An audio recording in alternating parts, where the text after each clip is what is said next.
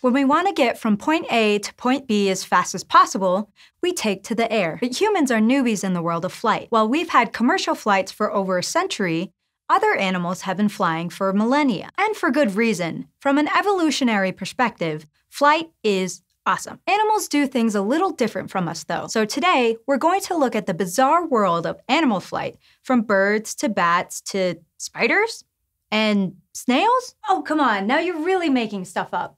Flying snails? All right, I'll, I'll wait for it. Let's kick things off with the undisputed champions of the air. Birds. These living dinosaurs constantly dazzle us with their aerial acrobatics, so naturally, we've looked to them for tips and tricks. For instance, fighter pilots often fly in a V shape, an idea we humans totally stole from migrating birds. But not all birds fly in Vs, no matter how far they're flying. Why not? Here's Hank to explain.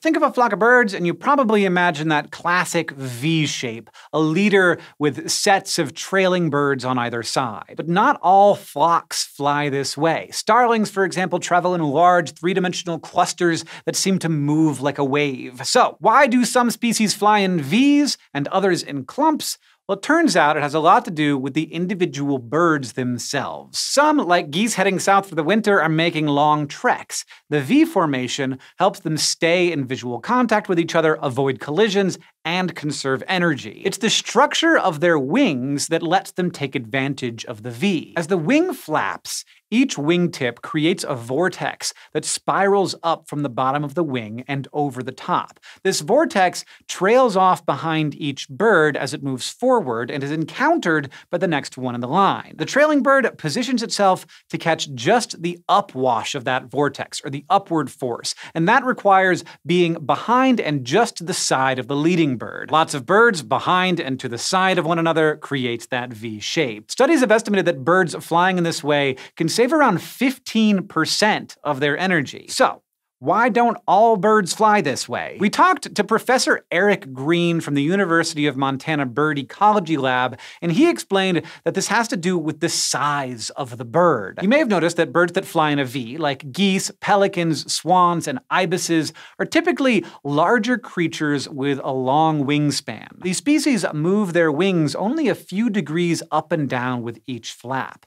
This motion creates vortices that lie pretty neatly behind the bird. A Small Small birds, on the other hand, tend to flap their wings all the way up and down. The vortices created by these motions are all over the place, not consistent enough for their flock mates to actually use. And the small birds that do flap their wings like larger ones just don't generate a big enough vortex because of their size. For small birds, flying in groups sometimes uses even more energy, not less. But these species have another need that's even more important protection. In 1971, evolutionary biologist William David Hamilton proposed a theory called the selfish herd. It suggests that the risk to an individual is reduced if that animal places another animal between itself and a possible predator. Repeat this across enough individuals, and you end up with a herd, or in this case, a flock. Other theories offer similar explanations, but whether you're talking about schools of fish or swarms of insects, it's clear that this is a pretty common survival strategy. So the next time you see a group of birds flying by, you'll know it might be to save energy,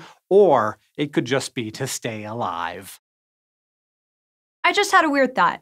Can you imagine if we flew planes in flocks? That would be a logistical nightmare. No wonder we don't mimic everything birds do. And actually, now that I think about it, there are other aspects of bird flight we don't usually copy like their flat tails. Our planes have vertical ones. Is that because we're better at flying than birds? Stefan, what do you think?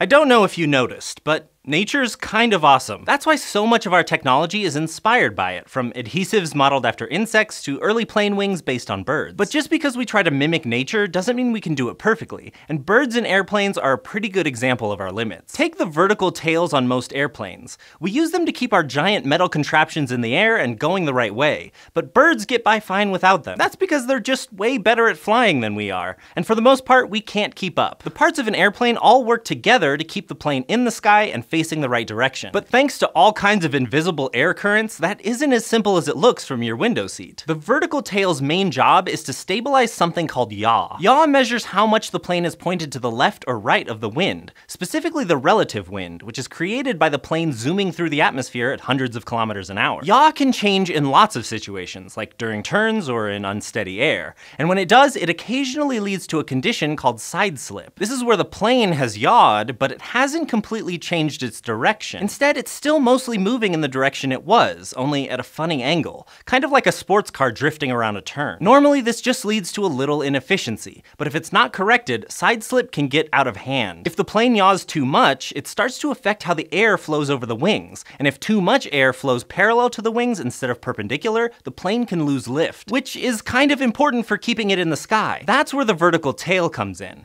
See, as the plane starts to side slip, the side of the tail will start to face into the relative wind and become more perpendicular to it. And as the wind pushes on the tail surface, it creates a force that ultimately nudges the whole plane back to face its original direction. Birds, meanwhile, don't have to deal with all of this because they're way better at flying than we are, which kind of makes sense. They've had millions of years to work on it. They don't need vertical tails for stability because they're constantly making fast, tiny adjustments to the shape and angle of their wings, which lets them avoid side slip. Right now, that's just not something we can practically or easily do with airplanes, especially passenger jets. And even though there have been some planes without vertical tails, like the B-2 stealth bomber, they come with plenty of stability challenges. So engineers are definitely working on it, but it looks like nature has us one-upped for now. That figures. Birds have been flying for millions of years. Of course, they're better at it. And there's still a ton they can teach us about flight. In fact, researchers are actively trying to apply what they're learning from studying birds and other animals to our flying contraptions. So here's Michael with three ways nature is inspiring drone engineering. Drones are awesome, but they could be even better. Like, they're kind of hopeless in smoke or fog, and they're just so big. I want a drone that fits on my finger like a bug. That kind of thing is exactly why engineers have been turning to nature to perfect drone tech. After all, animals have been flying for more than 300 million years, so they've got a bit of a head start on us. And we can learn a lot from them about navigation, miniaturization, and even the best color to be for optimal flight. It's not hard to imagine a situation where it might be helpful for a drone to have an idea about what's around it. Like, imagine if a drone could find its way through smoke filled rooms in a burning building. It could help emergency workers save lives by scanning areas where people might be trapped. But smoke makes it pretty hard to see anything because the small particles bounce visible light all over the place. And it's not just smoke.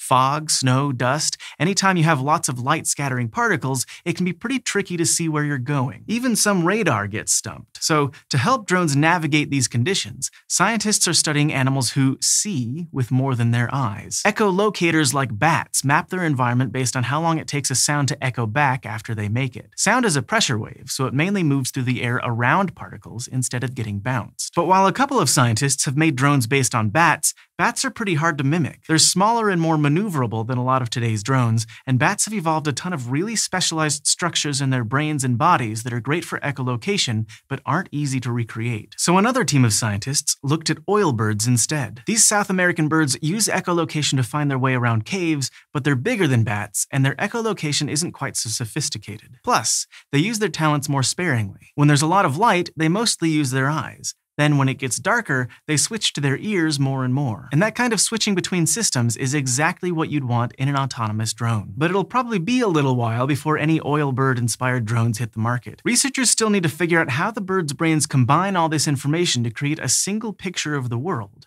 because that's what drones will need to do before we can let them fly by ear. Now, one of the upsides to oil birds is that they're already about the same size as modern drones. But one of the big goals of drone tech is to go small. The problem is, really small drones can't fly in the same way that big ones do.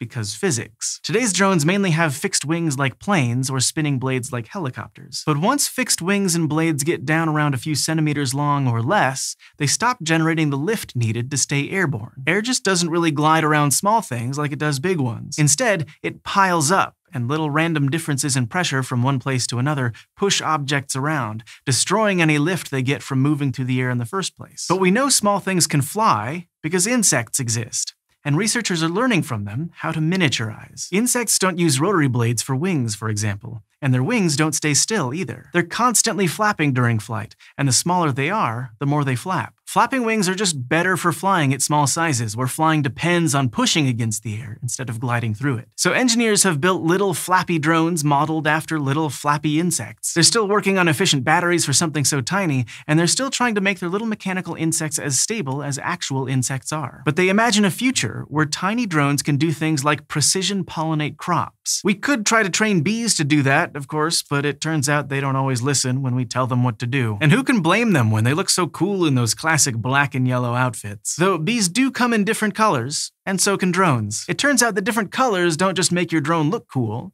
Studies on animals suggest they might actually help it fly. Right now, you can split drones into two broad color groups black ones and not black ones, but they should probably all be black. You see, a lot of animals have what's called counter shading. They're light on the bottom because it makes them look more like what's above, and they're dark on top because it makes them look more like what's below. Or so everyone thought. But experiments with models of birds, dolphins, and orcas have all found that darker backs may be more than camouflage. Both in air and in water, they seem to let the animals move with less drag because of how dark colors absorb and radiate heat. They heat up faster from sunlight and transfer that heat to what's around them, which makes the air or water they're in thinner and easier to move through. So if you want a drone that uses as little energy as possible to fly, you should get one that's the color we all instinctively know is coolest black. Also, if someone ever says you wear too much black, just tell them you want to be more aerodynamic.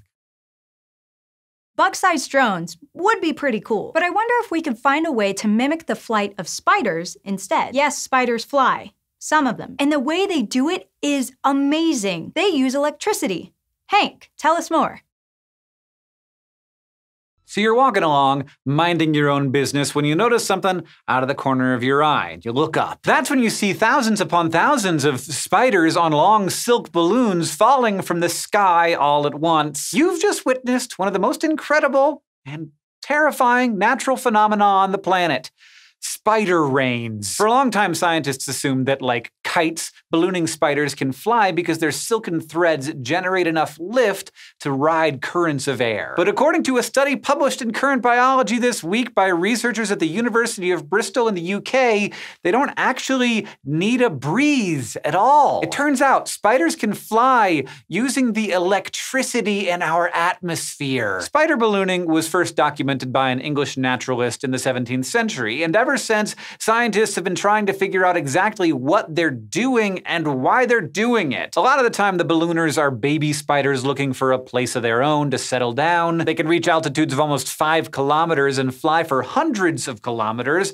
Talk about putting some space between you and your parents. But instead of loading up their Volvos and moving to Montana to take off, these spiders find somewhere high up, then stand tall, raise their rears, and emit thin, meter long silk threads in the shape of a sail. When they let go, they're pulled into the air with surprising speed, even on calm days. And that speed is one of the things that's never quite added up with the idea that these spiders ride the wind. Biologists have seen spiders ballooning when winds are almost imperceptible or even when it's raining. And the wind hypothesis doesn't explain how the spiders eject their silk so forcefully without the help of their legs, or how the strands maintain a fan like shape without tangling. So the team from the University of Bristol decided to test something no one else had whether the spiders can ride electricity. The idea that electrostatic forces provide the necessary lift has been around for centuries, but no one ever really looked at it. Then in 2013, a physicist from the University of Hawaii worked out some of the theoretical details. He released his paper as a preprint that was never officially published, but the authors of the new study thought it was worth investigating. The whole thing hinges around the fact that no matter what the weather is, there's a difference in electric charge between the ground and the sky that creates an electric field. So if the spider's silk picked up some of that static charge, those threads could be pushed by the electric field. Since like charges repel one another, the charge of the ground, or whatever the spider is standing on, would propel the silk out and up, and enough pushing could fling the spider into the sky. But since that 2013 paper was purely theoretical, the new study's authors decided to put it to the test. They took ballooning spiders and placed them on a small cardboard pedestal in a special chamber designed to have no electric field or air movement. Then they induced electric fields of different magnitudes and watched what the spiders did. Even in the complete absence of wind, the spiders began to get into that rump raising position that sets them up for ballooning. And with a strong enough field, they started to spin silk and even Once airborne, the researchers could make the spiders rise or fall just by turning the electric field on or off. An earlier study published just last month in PLOS Biology noted that these spiders seem to test the wind with their legs before they start to spin their silk sails. And this week's study found that the hairs on the spider's legs moved in response to changes in electric fields too. But those hair movements were different from the way they moved in response to wind, which means the spiders might be feeling around for both of those things. Riding electricity could explain some of the weirder aspects of their flight, like how they take off on seemingly windless days or in the rain, but most of the time air isn't completely still, so the spiders probably use a combination of electricity and wind to fly. There are still some parts of this left to figure out though, like how the spider's silk becomes charged in the first place, or whether they can control their flight to decide where to land. Learning more about how spiders fly can help biologists predict when they're going to do it and get a better understanding understanding of their ecological needs. And maybe it will make it easier to predict those rare episodes of spider rain, because I don't know about you, but if 10,000 spiders are going to land in my neighborhood, I would prefer to know that that's going to happen before it happens. Well, I know what I'm having nightmares about. Speaking of scary things, let's talk about flying mammals for a moment. We've already learned how their ability to echolocate could help us make smarter drones. Well, echolocation probably evolved after flight, and after birds exploded in diversity and pushed bats to hunt at night. And it turns out that flight plays a pretty central role in another aspect of their lives their immune system. Here's Stefan to explain what flying has to do with immunity. One fifth of all mammal species today are bats. And that's pretty awesome because they help us out in all sorts of ways. Like they pollinate a lot of plants, help regrow forests and control pests, and their poop is a pretty excellent fertilizer. Plus, they're just really cool. Some of them can sense magnetic fields or use sound to find their food. And of course, there's one thing that they all have in common they can truly fly. They're the only mammals around capable of powered flight without the help of machines. But they're also somewhat notorious for something else being flying sacks of germs. Now, you might have noticed that part with all the talk about zoonotic diseases that's been happening lately. Those are diseases that are passed to humans from other animals. And while bats aren't to blame for everything, they have played a role in the transmission of at least 11 viruses, probably 12 counting SARS CoV 2. These diseases aren't the bats' fault, of course. If anything, they're ours. Research shows that disturbing animal habitats is usually what causes the transfer of a zoonotic disease to humans. Still, bats in particular do carry a lot of viruses, and that's because they have unique immune systems, which means we can learn a lot about these pathogens and their effects by studying bats. In fact, bat immune systems are so special that what we learn from them could someday help us treat a wide variety of conditions, from cancer to diabetes. And the kicker is, bats probably have weird immune systems because they fly. Unlike gliding, flapping flight requires a huge amount of energy. So bats have evolved ways to kick their cellular fuel production into high gear, mainly by putting their mitochondria into overdrive. Those are special compartments within cells that turn food into fuel. But there's a catch. When mitochondria convert nutrients into energy, they also create byproducts called reactive oxygen species. So basically, mitochondrial exhaust fumes in the form of really reactive molecules which contain oxygen. Now, these aren't all bad. The immune system uses them to rouse immune cells to action and kill bacterial invaders. But they can also cause a lot of damage. They can weaken cell membranes, mess with proteins, and even break DNA. And because of that, they play an important role in diseases like cancer and arthritis. Cells can try to keep them in check with antioxidants, compounds that essentially neutralize these overeager molecules. But those can only do so much, and when the balance gets out of whack, cells experience a condition called oxidative stress. This is when most of the DNA damage happens. So Bats' supercharged mitochondria mean extremely high levels of oxidative stress, which in turn means constantly high levels of DNA damage. But since bats don't immediately get super cancer after their maiden flight, researchers have long suspected that they've evolved ways to protect themselves from all this flight-related damage. And a few years ago, genetic studies found mutations which boost their ability to detect and repair damaged DNA. Essentially, they've also turbocharged the mechanisms that prevent genetically damaged cells from replicating replicating, which may also explain why they don't seem to get cancers very often. So, bats produce tons of energy without damaging their cells. Sounds pretty awesome, really. But there's just one small problem. DNA damage can also be a sign of a viral infection because viruses need to hijack the cell's genetic machinery to reproduce, and that process usually involves some strategic snipping. So naturally, DNA damage triggers an immune response, inflammation. Essentially, when cells detect DNA damage or other signs of infection, they chemically call in white blood cells. These cells kill and destroy pathogens using a variety of genetic and chemical tools. And they also help control how the inflammation unfolds,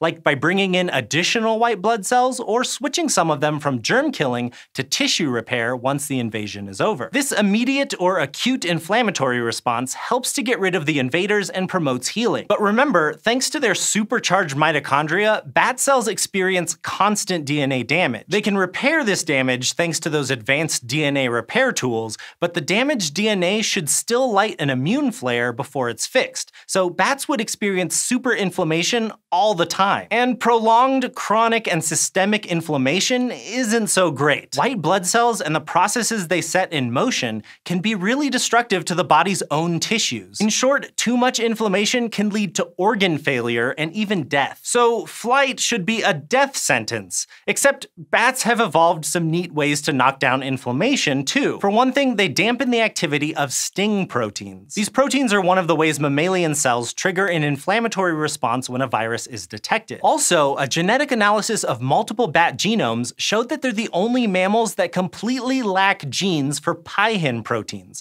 another set of inflammation triggering sensors activated by damaged DNA. And those are just part of the story. It will still be a while before we completely understand how bats prevent or dampen inflammation in their bodies, because it seems like every time they look, researchers keep finding more of these adaptations. So to recap, we know that to make sustained flight possible, bats have ramped up fuel production and DNA damage detection while dialing inflammation down to a 1. But we know that inflammation is one of the big ways the immune system fends off intruders, so doesn't that leave them open to all kinds of actual pathogens? And the answer is yes. Around the turn of the 21st century, scientists discovered that bats act as a reservoir for a lot of viruses that are extremely dangerous to humans. This includes filoviruses, which cause hemorrhagic fevers like Marburg or Ebola, and Henipa viruses like Hendra and Nipah, both of which can cause fatal brain infections. And of course, coronaviruses like SARS, MERS, and most likely the notorious new coronavirus that started the COVID 19 epidemic. And there's mounting evidence that bats were involved in transmitting these diseases to humans, either directly or indirectly, like by infecting farm animals. And bats are also suspected of having given us other diseases in the past, like mumps, measles, and hepatitis B. But here comes another magic thing about about bats. Even though they're widely infected with notoriously deadly viruses, they don't actually seem to get sick from them. The virus can be found in their bodies, but they don't have any symptoms. As for how that's possible, well, we still have more questions than answers, but researchers have discovered a few evolutionary quirks about bat immune systems that help make that happen. In part, that's because active viral infections in bats tend to be pretty short-lived, thanks to their hypervigilant interferon production systems. Remember how we said DNA damage is a signal signal of infection, that's because viruses try to reprogram cells to create copies of themselves. But cells aren't sitting ducks during this process. In addition to calling out for help, which is that whole inflammation bit we discussed, cells have an internal defense mechanism. They can make a protein called interferon alpha, which activates genetic and chemical tools that reduce the virus's ability to multiply and spread. Every other mammal we know of switches their interferon system on when an infection occurs. But genomic studies suggest bat cells always have their interferon interferon alpha genes activated. This drastically cuts down the time it takes to react when a virus is present, so it allows bats to nip the infection in the bud before it becomes a full-blown disease. And of course, there's more. All mammalian cells contain an enzyme called ribonuclease L, which when activated chops up viral RNA to stop a pathogen from spreading. But in us and most other mammals, activating this enzyme takes a complex chain of steps, so it's not super quick. But bats, on the other hand, can activate it directly with interferons, drastically speeding up infection containment. Scientists also think this fast activation of ribonuclease L helps bats outsmart viruses that have evolved to inhibit the enzyme before it can be switched on, something HIV does in humans, for example. So basically, when bats do get viruses, they're able to quickly clear them out, for the most part. They can still fall prey to at least a few, like the rabies virus. And even quick suppression of a virus can mean it stays around in a group of bats. Bats tend to huddle close together when they roost. Plus, they fly around in the same areas as bats from other colonies, and they're constantly spraying snot and saliva everywhere when they echolocate. So there's a good chance that during that window, when a bat has a virus that is actively replicating, it will spread it to another bat. That means that even if each bat only hosts a virus for a short time, it can linger in the population. And even this probably isn't the full picture. Mathematical models indicate that by themselves, bats' social habits don't completely explain why they host so many viruses. Instead, research suggests that the viruses themselves have figured out how to lie dormant and undiscovered, like in the bat's lungs, spleens, or intestines. And then when the bat gets stressed, like when it's roused from hibernation, that stress temporarily dampens its antivirus systems, allowing any hidden viruses to emerge. This leads to another period of increased viral replication and shedding, so again, the bat can transfer the infection to other animals. Then its antiviral systems get back up to speed, and the viruses are eliminated or driven back into hiding. Still, even when a virus is replicating and being shed, bats don't generally seem sick, not like a person would with the same virus. And that's likely because their inflammation dampeners are still running. So they're still suppressing a lot of the immune responses that would make them noticeably sick. And that may also be why viruses that are deadly to us aren't lethal to them. It turns out that the most severe symptoms of illnesses like MERS and Ebola, the symptoms usually responsible for their lethality, aren't caused by what the virus itself does to the body. Instead, they're the result of the destructive, catastrophic inflammation the virus triggers. This includes an extreme systemic reaction called a cytokine storm, where an over-release of pro-inflammatory signaling proteins turns a person's own immune system into their worst enemy. And some researchers think that our aggravated inflammatory response may actually be because these viruses have evolved to dodge the super refined immune systems of bats. Basically, they evolved to survive in a host host that constantly and aggressively attacks their ability to replicate. So when that assault is suddenly weaker in a new host, they go wild and produce a lot of little virus babies that send the host's immune system into panic mode. This kind of overreaction can also happen to bats, it's just not usually in response to viruses. Instead, it seems like their unique immune system may leave them vulnerable to non-viral invaders. The most infamous example of this is white nose syndrome, a fungal pathogen which has devastated bat populations in North America.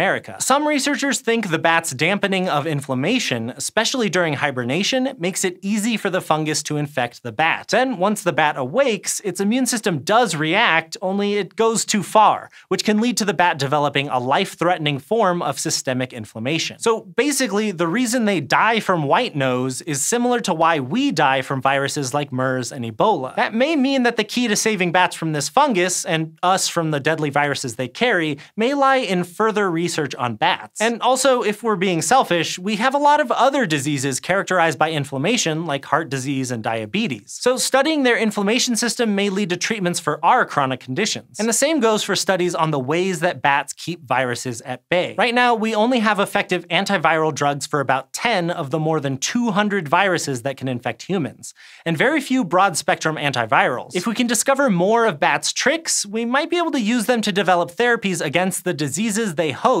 and other dangerous viruses. Plus, all this research might help us live longer. Many researchers think bats' immunological adaptations are also behind some of their other superpowers, like how they seem to rarely get cancer, or how they live incredibly long lives for animals of their size. Usually, little animals live fast and die young, but Brandt's bats can live for over 40 years, even though they only weigh 4 to 8 grams. So instead of looking at bats as species zero, we should think of them as flying keys to longevity and resilience. And in the end, they're going to be our allies in health, not our enemies.